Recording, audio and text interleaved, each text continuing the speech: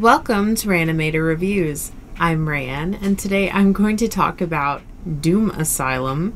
I believe this is from 1987, and it was a straight to video release, so no theatrical run on this one. The movie starts out with Mitch and Judy driving in their convertible, just celebrating a huge win that Mitch just got for Judy, where she will never have to do another manicure again they're talking about how they're going to start a new life together and send her child to boarding school so they can do it without her. Where uh, there's a not.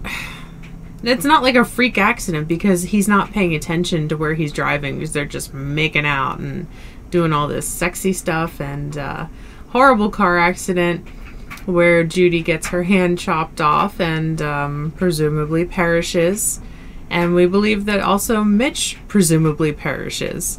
Mitch is taken to the coroner's office where they start to do the autopsy. And after removing his face, they um, realize, whoops, whoops a daisy. Um, uh, he's not, he's not dead, but he's pissed. He's very pissed. So he ends up killing both of the medical examiners and then gets sent to an institution. Fast forward 10 years, and it is actually Judy's daughter and a bunch of her friends and her boyfriend, I believe, that are going to said asylum, which is now abandoned, to just hang out and party. And uh, they meet Tina and the Tots, who are a, I don't know if they're a progressive whatever band just playing, just minding their own business, and um, the two groups do clash, where there's uh, also a budding, perhaps, romance between Darnell and I think it was Rapunzel. I think she's the drummer. And um, yeah, suddenly people just start disappearing.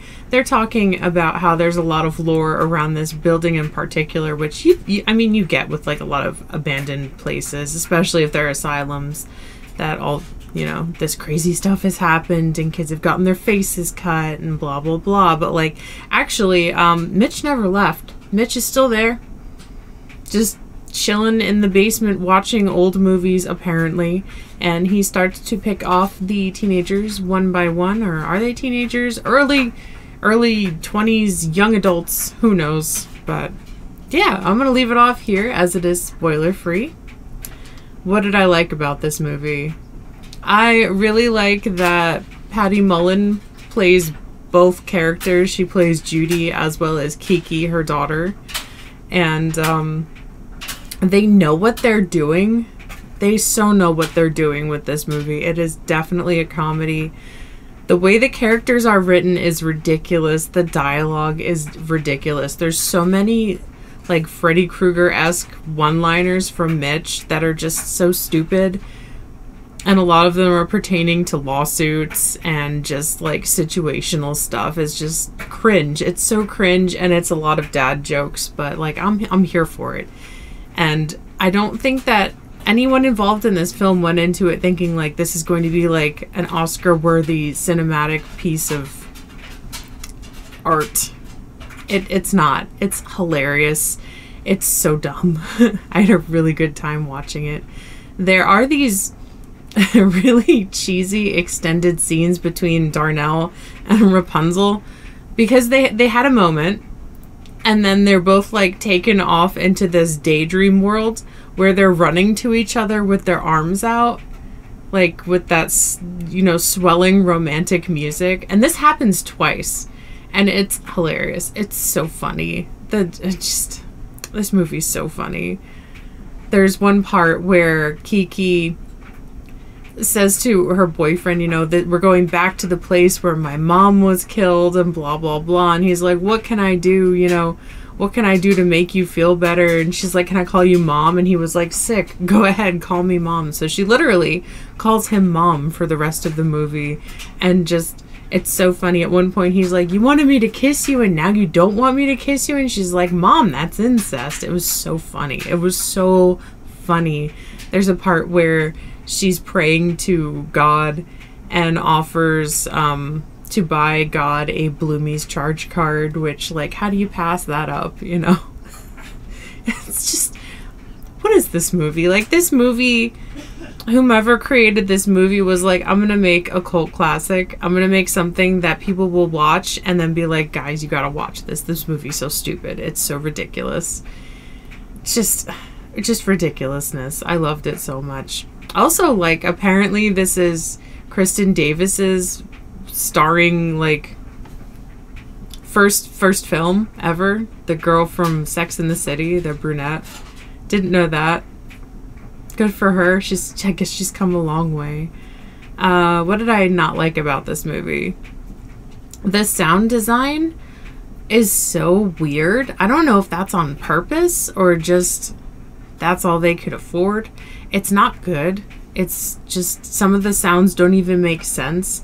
There was a part where uh, Tina's walking around in a hallway and it sounds like squelching sounds, but it's supposed to be her walking in heels on like tiles. So I was very confused about that.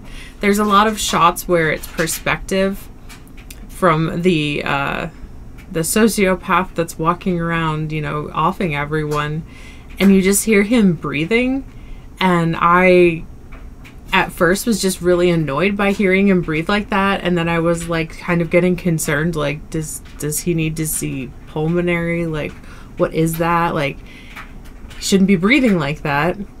That kind of took me out of it a little bit. I felt like the score as well sometimes didn't make a whole lot of sense. It was the 80s. I'll, I'll give it a little bit of a pass, but sometimes the score was just not great. Also, all the cutaway scenes to Mitch in the basement watching not just like one entire movie that would be cohesive, clips of, I think it was like five to six different movies. And he, you know, do something like he tied up Kiki and then was like, "Hold up, I gotta finish my movie," and like goes back down to the basement. Like, what are you doing? Just focus on on doing this one task, sir. I shouldn't I shouldn't judge on that, but I, it was a strange choice for the movie, definitely. Um, yeah, I mean, if you're into schlock, if you like Patty Mullen, check it out. It's it's so ridiculous. It also has that trope again of a coroner eating while they're dealing with a dead body, which like they would never allow that. Like the what's the the lab governing agency? I can't remember. I I should know this because I literally look at the sign every time I'm at work in our lab, but they would never allow that. Never, never. So many fines. So many fines. But what? Why? Why that trope? Where did that trope come from? Does anyone know? Because it is everywhere in movies. I know there's that whole juxtaposition between eating and dead body, but like, why? Why is that? It just it catches me off guard every time. Um, I think I will rate this movie probably like a 2.5 out of 5. I had a really good time watching it. I probably would watch it again. Um, it's just so stupid. I loved it. I loved it. I think it's probably when you know that you're creating something that's going straight to video, you just don't you don't have to put any of your ideas to the side. You can just do whatever you want and I do really appreciate that. I'm a fan of independent film for sure. So, that was great. Um, I found this streaming on Tubi, which is a free app that does have commercials in it, which is fine because I could always use a little bit of a break. And uh, have you seen this movie? What are your thoughts on this movie? Please let me know in a comment down below. I'd love to hear your thoughts and what your favorite part of the movie was. Darnell had a really nice, like, awesome, huge nameplate necklace. I should have worn mine for this video. I just can't compete with his. His was just so majestic. But, uh, if you haven't yet, please do subscribe to the channel. I'd love to have you. Hit the bell for all notifications of further uploads and live streams. Like the video if you did like the video, or you could like the video if you like Patty Mullen. Don't forget to find me on Facebook at Rayanimator Reviews, Twitter, Instagram, and TikTok at Rayanimator. My reviews are also available in podcast form on iTunes. Thank you to the Farsighted Network. Please don't forget to check out all of their awesome creators and content as well. And I will see you guys later. Bye.